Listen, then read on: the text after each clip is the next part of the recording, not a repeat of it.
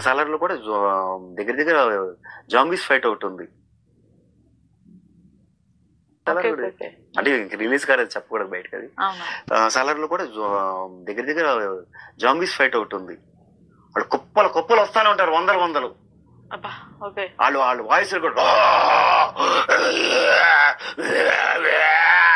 అట్లా ఉంటాయి हाँ गाइस मैं कोई मैं कोई ये क्लिक बेट वगैरह नहीं दिया हूँ अभी इंटरनेट पे आप देखे होंगे, एक डबिंग आर्टिस्ट है एक्चुअली वो इस बात इस बात की अपडेट दे रहे हैं कि इस फ़िल्म का जो फाइट सीक्वेंस वगैरह जो है ना, एकदम से जम्बी स्टाइल का होगा। इसकी जो विलन लुक हैं एकदम वो जम्बी टाइप के होंगे। मतलब आप देखिए वो जम्बी रेड्डी मूवी देखिए, वो गो गोआगन फ़िल्म में देखिए हो ना, वो लोग कैसे मारते हैं? काट देते हैं, पूरा चीर फाड़ देते हैं, एकदम से पूरा एकदम से दरिंदे जैसा, पूरा राक्षस जैसा, कैसे काम करते हैं? बिल्कुल वैसे ही। तो इस फ़िल्म का जो खानसा के जो विलेन वाले होने वाले हैं ना, जो दिख रहे हैं ना एकदम से खूंखार, खतरनाक, वो लोग वैसा ही कत्ल करने वाले हैं लोगों का। और कुछ ऐस शायद इसलिए फ़िल्म का मतलब फ़िल्म ए रेटेड है। और वायलेंस के तौर पे ये फ़िल्म इतना हाई है। ओ गॉड, क्या होगा यार, क्या होगा? मतलब बहुत ही ज़्यादा ज़बरदस्त होगा। आप देखे होंगे, कुछ रिव्यू वगैरह आया है जहाँ पे बोला जा रहा है कि एक्शन इतना है, रक्तपात इतना है वायलेंस इतना है, इतना खून खराबा है कि अगर मतलब कमज़ोर दिल वाले फ़िल्म को सहन नहीं कर पाएँगे, उल्टी हो जाएगा। कुछ इस तरह की भी अपडेट आ रही है, कुछ इस तरह का भी रिव्यू आ रहा है।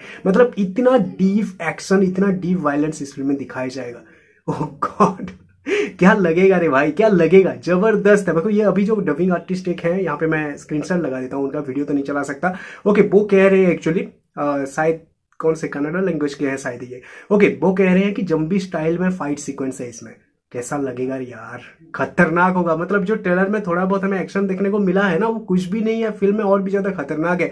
मतलब वो जो खानसार के जो लोग दिख रहे हैं ना, एकदम से दरिंदे टाइप का, एकदम से राक्षस टाइप का, उनके साथ जो लड़ाई होगा, एकदम से जम्बी स्टाइल का होगा। कहाँ से उड़ेंगे? पैर, हाथ, गर्दन, किस तरह का कत्ल होने वाला है, किस तरह का फाइट होने वाला है, भाई साहब, मज़ा आएगा। लिटरली मज़ा आएगा, सच में। बहुत अच्छा लगे। इंडियन सिनेमा में कुछ ऐसा बन रहा है, जो भाई दिल को दहला देगा लिटरली एक्सॉन के तौर पर मज़ा आने वाली है। अभी हम बात करते हैं सलार मूवी की क्रेज के बारे में। भाई साहब मैं बुकमाई शो की क्रेज के बारे में बताऊँगा। रात को देखा था आ, यही कुछ था आठ लाख आठ लाख साठ हज़ार समथिंग था। ओके एट सिक्सटी के था एट सिक्सटी के अभी जब मॉर्निंग को देखता हूँ अर्ली मॉर्निंग को जब देखता हूँ वीडियो बनाने से पहले तो नाइन हंड्रेड के हो जाता है। ओके नाइन हंड्रेड के हो चुका होता है। और जब अभी मैं जब देखता हूँ नाइन थर्टी शायद समथिंग टाइम होगा, जो मेरा लास्ट वीडियो है, वो अपलोड करने के बाद जब मैं देखता हूँ तो नाइन थर्टी के अभी तो और भी ज़्यादा हो चुका होगा। शायद मेरे ख्याल से आज ही के आज वन मिलियन तक हो जाएगा, मे बी इवनिंग तक। मेरे ख्याल से हो जाएगा, जिस तेज़ी से बढ़ रहा है ना भाई। अभी मैं ये जो वीडियो आप जब जिस टाइम के देख रहे होंगे ना, इस टाइम पे आप देखते जाना देखने चले जाना 950 हो चुका होगा 950 के हो चुका होगा। कितना लोग इंटरेस्ट दे रहे हैं, जरा सोचो। कमाल है भाई कमाल है। मतलब ये फ़िल्म रिलीज़ होने के लिए सात दिन बाकी है। एडवांस बुकिंग अभी तो ओपन नहीं हुआ है। बुक माई शो पे नहीं शो किया है। जब एडवांस बुकिंग ओपन होता है तो किस तेज मतलब कितने तेज़ी से इंटरेस्ट वगैरह बढ़ता है जरा सोचो। तो कितना जाएगा जरा सोचो यार। बहुत ज़्यादा खतरनाक ये होने वाली है। लिटरली बहुत खतरनाक क्रेज है। और कुछ इनसाइड रिपोर्ट आ रहा है कि फ़िल्म का जो प्रमोशन के तौर पर मीडिया के सामने आएँगे। मतलब फ़िल्म में जुड़े हुए कुछ लोग आएँगे। मतलब प्रशांत नील आएँगे पृथ्वीराज सुकुमारन आ सकते हैं। ये श्रुति हासन आ सकते हैं। ओके तो ये सारे लोग आएँगे, लेकिन प्रवास नहीं आएँगे। मीडिया के सामने आकर बातचीत करने के लिए वो प्रवास नहीं आएँगे, वो अपने अलग प्रोजेक्ट में बिज़ी हैं शायद। तो इस बार वो प्रमोशन में नहीं जुड़ रहे हैं। और वैसे भी यार फ़िल्म का प्रमोशन मतलब ऑलरेडी है। फ़िल्म का क्रेज बहुत ज़्यादा ज़बरदस्त है।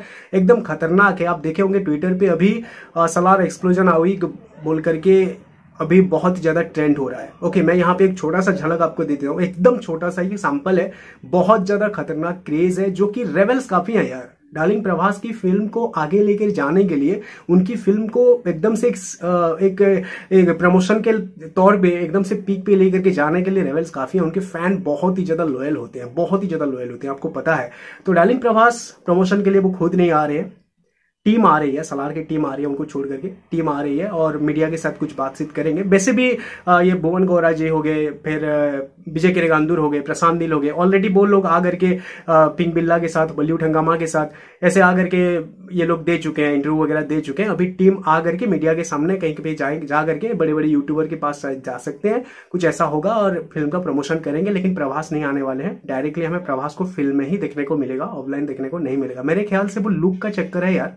है ना? वो लुक का चक्कर है उनका लुक वगैरह अभी बन रही है वो आ, ये कल की मूवी के लिए। तो वो अगर मीडिया के सामने आएँगे तो बहुत सारा कुछ रिवील हो जाएगा। तो मेरे ख्याल से कल की का है कल की मूवी वालों का ही शायद रिक्वेस्ट वगैरह हो चुका हो, हो सकता है जो कि प्रभास अभी मीडिया के सामने नहीं आना चाहते सबके सामने नहीं आना चाहते क्योंकि इनका लुक अगर रिवील हो गया तो कल की मूवी का मज़ा किरकिरा हो जाएगा। मेरे ख्याल से मैं कुछ ऐसा सोच पा रहा हूँ। नहीं तो वो तो अभी फिट है।